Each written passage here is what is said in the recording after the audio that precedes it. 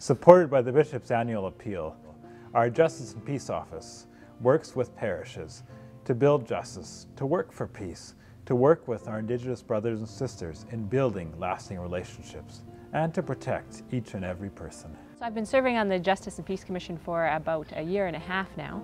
So the part that I've really been focusing on lately, it has to do with euthanasia and assisted suicide. As, as Catholics, we really do a wonderful job of journeying with people at the end of their life. We have such a beautiful message to share with the world about how life can be lived to its fullest right up until the last moments. And I hope that going forward uh, with Canada, the way that things are going, that we are able to continue to bring that message of hope and of compassion to the whole world.